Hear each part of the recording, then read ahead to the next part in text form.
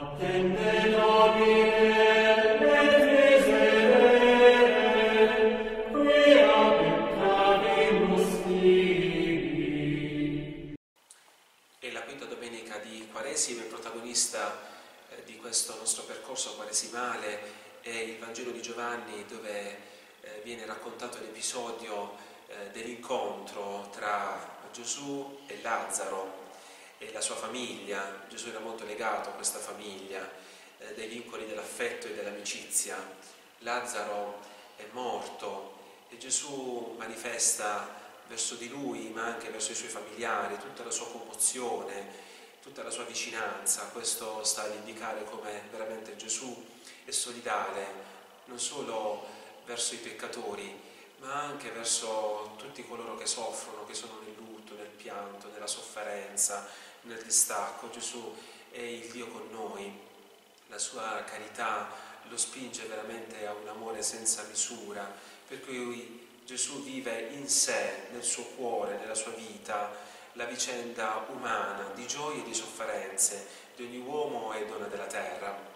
Gesù risuscita Lazzaro e questo racconto è eh, un segno della futura risurrezione di Cristo.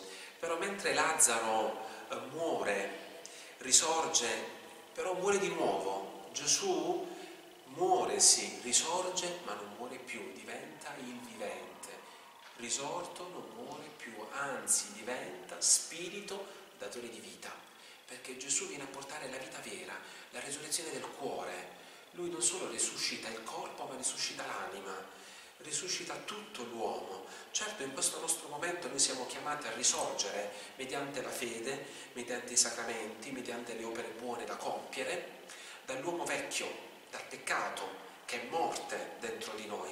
Gesù ci chiama a questa nuova vita, per cui noi siamo risorti nel bene, risorti nella grazia, per cui davanti a Gesù noi siamo come suoi fratelli, per cui lui diventiamo figli nel figlio e possiamo guardare negli occhi non solo Gesù, ma addirittura il Padre Celeste. Ma questa nostra resurrezione che riguarda la nostra interiorità e che si manifesta nelle relazioni che noi abbiamo oggi, per cui siamo eh, beati, cioè costruttori di qualcosa di bello, nella mitezza, nella fortezza, nella temperanza, soprattutto realizzando un mondo nuovo dove alberga la pace e la giustizia e una autentica carità da vivere nella gratuità dei rapporti, questa risurrezione ci porterà poi a una risurrezione totale,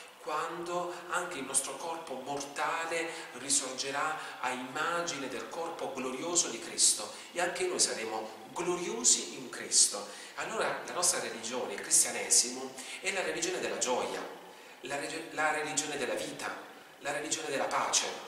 Chiediamo al Signore questa grazia perché sia veramente dentro di noi quella aspirazione che ciascuno ha in sé, cioè il desiderio di essere migliori, il desiderio di essere nella Pasqua piena, di una felicità totale.